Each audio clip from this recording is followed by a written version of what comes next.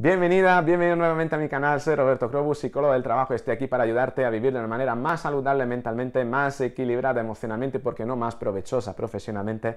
Esta fase de cambios donde la pandemia, por un lado, se ha unido con la disrupción tecnológica a acelerar una serie de procesos y está provocando una serie de cambios en nuestros hábitos, en nuestra manera de comportarnos y también en una época en la que estamos teniendo una serie de comportamientos erráticos, unos comportamientos totalmente irracionales. No estamos siendo capaces de diferenciar la ficción de la realidad. Em, estamos negando incluso la realidad. Si nos hubieran contado hace un año que hubiéramos vivido esto, nos hubiéramos reído y hubiéramos pensado que esto era una película distópica. Y sin embargo la estamos viviendo. Pero en estos meses hemos estado observando una serie de comportamientos realmente eh, irracionales, desde mandatarios de países que han negado, han negado la pandemia, eh, a eh, bueno, algunos que han directamente ocultado muertes, otros que han manipulado la población diciendo barbaridades, como que en, ese país no iba a pasar la pandemia y que hubiesen tenido unos pocos contagios, ¿no? Incluso en eh, personas, ¿no? En las personas en general, teniendo comportamiento tan irracional. Al principio de la pandemia veíamos como determinadas ciudades de España estaban en plena ebullición en la costa, ¿no? La gente en los bares, ¿no? Em, luego hemos visto, estamos viendo ahora como la vuelta a la normalidad, que es supuestamente una nueva normalidad, eh, para algunos mm, es como el verano del año pasado, ¿no? Eh, juntándose con los amigos, en fin, haciendo caso omiso a toda una serie de eh, digamos, eh, recomendaciones. Incluso las instituciones que promueven recomendaciones, un día dicen una cosa, otro día dicen otra. Una auténtica locura si pensamos en la, cantidad de declaración de la Organización Mundial de la Salud. Y todo esto me ha hecho reflexionar, me ha hecho reflexionar acerca de el por qué estamos teniendo comportamientos tan irracionales y, en una situación como esta. Y hay em, dos razones, dos razones al respecto, ¿vale? La primera es una razón de tipo eh, neuronal, ¿vale? Sí, neuronal en el sentido de que, ojo con lo que te voy a decir, porque es una frase de esta lapidaria que te la puede poner en la pared de tu casa. Mira, ante una realidad incómoda, el cerebro siempre prefiere una irrealidad, una mentira cómoda. Es decir, el cerebro es un órgano que consume muchísima energía. Es el órgano que, si no me equivoco, consume la mayor cantidad de energía del cuerpo humano. Bien, y tiene un mecanismo propio de autorregulación por el que economizar esta energía, ¿vale? Por tanto, si eh, algo requiere un esfuerzo, el cerebro, ¿qué es lo que hace? Busca atajos. ¿eh? y en esos atajos eh, el atajo, digamos, que le permite llegar a una, digamos, a una eh, conclusión eh, lo más rápido y, ahorradora y cómoda posible, elegirá entonces ese atajo. Y el cerebro no es capaz de diferenciar lo que es realidad de ficciones. Esto está también científicamente demostrado, tan demostrado que se ha visto que una persona cuando imagina algo y visualiza algo, activa la misma zona que la corteza prefrontal, ¿eh? la corteza prefrontal del cerebro se activa de la misma manera como cuando lo está contemplando en vivo. Es decir, el cerebro activa los mismos mecanismos, la misma conexión cuando imagina, cuando recuerda, que cuando tiene algo que está viendo en vivo. ¿no? Por tanto, no es capaz de diferenciar realidad de ficción. Y ojo, por tanto, también ante una realidad incómoda, por tanto, incómoda significa que requiere un esfuerzo para entenderse, y ese esfuerzo, cuanto, mm, digamos, eh, menos está, menos forma parte esa realidad de los hábitos de esas personas, más esfuerzo requiere la adaptación, entonces elegirá una, eh, una mentira pero cómoda, ¿vale? Em, esto es, eh, de alguna manera, ¿cómo te lo puedo explicar? Em, también, mira, por ejemplo, hemos visto al principio de la pandemia eh, muchas personas que le parecía esto, negaban esto, negaban la pandemia. La negación es una actitud precisamente eh, de aquellas personas que permanecen en la zona de confort, permanecen en una zona de comodidad, están a gusto donde están. Entonces, claro, pensar en, vivir algo tan irreal que, no forma parte de, nuestros hábitos y nunca ha formado parte de nuestra vida, nos lleva a no prestarle tanta atención. Y es por eso, por ejemplo, que se puede justificar también el ascenso en algunos países Em, de, gobiernos dictatoriales.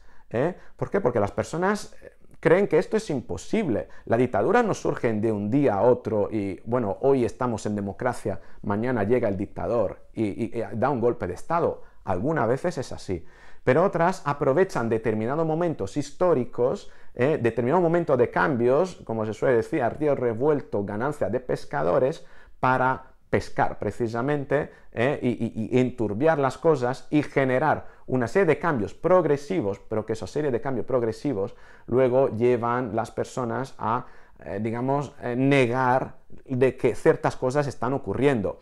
Se dice, por ejemplo, que durante la época del holocausto, del holocausto nazi, muchos judíos negaban, negaban el tema de los campos de concentración pensaban que los campos de concentración eran otra cosa o, no se imaginaba mínimamente que su vida cambiaría por ir a un campo de concentración. Le citaban y, de una manera, digamos, muy sumisa o condescendientes, se metían en los trenes e iban hacia los campos de concentración.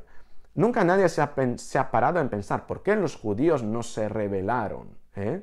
por qué los judíos no vieron llegar ese ascenso, como pasó en Italia, como pasó en, sobre todo en Alemania, y, empezaron a, aceptar esa em, persecución nazi, porque era una persecución que llegó poquito a poco.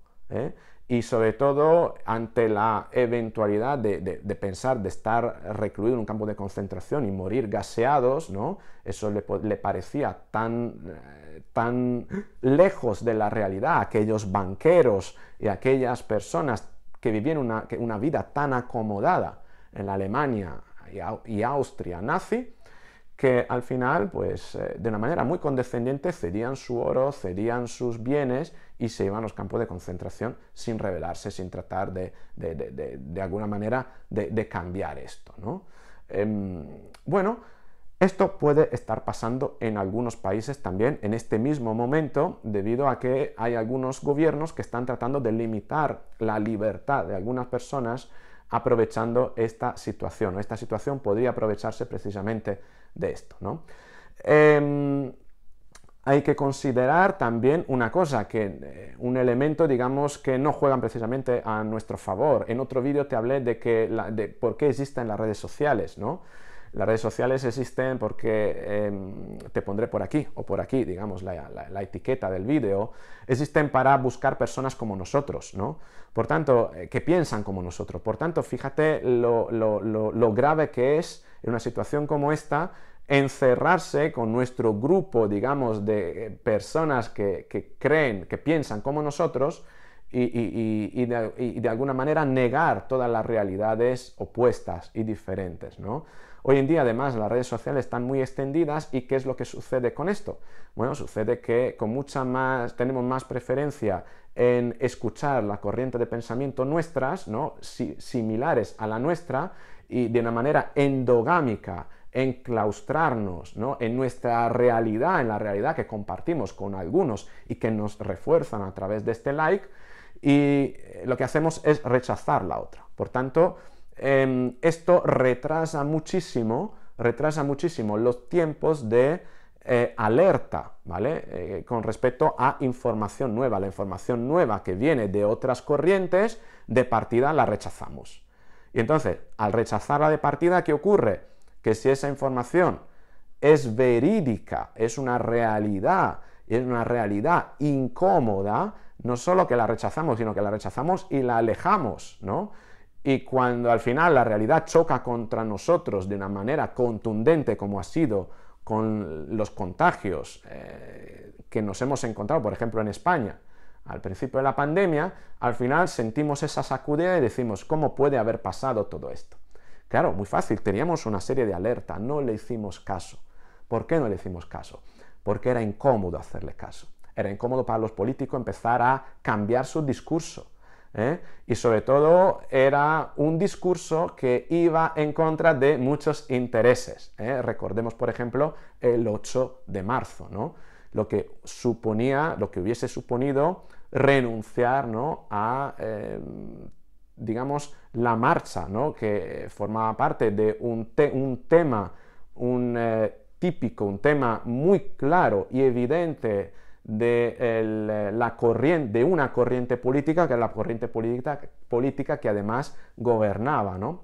Por tanto, es, eh, digamos, este vídeo eh, trata de dar una explicación científica de por qué han ocurrido ciertas cosas en nuestro país, por qué, y en otros países, por supuesto, por qué siguen ocurriendo y por qué el ser humano es tan lerdo, por así decirlo, eh, y, le hace tan poco caso a la, digamos, información nueva que le llega sobre todo cuando esto supone un esfuerzo, cuando ésta está alejada de su realidad y además eh, cuando esa persona está rodeada de otras personas eh, y arropada de otras personas que piensan como él o como ella y al final hace que de alguna manera todo esto, todo lo demás, quede en un segundo plano. Espero con este vídeo, sin entrar en polémica, haberte podido transmitir esta explicación y que haya sido fácil de entender. Y como siempre, te espero en los comentarios de abajo para saber qué es lo que opinas y si este vídeo te ha gustado que le des a like, si crees que puede ayudar a alguien o puede ser interesante para alguien que lo compartas y si no estás suscrito suscrita, que te suscribas al canal porque van a salir más vídeos como este. Bien, con esto es todo, te espero en el próximo. Hasta luego.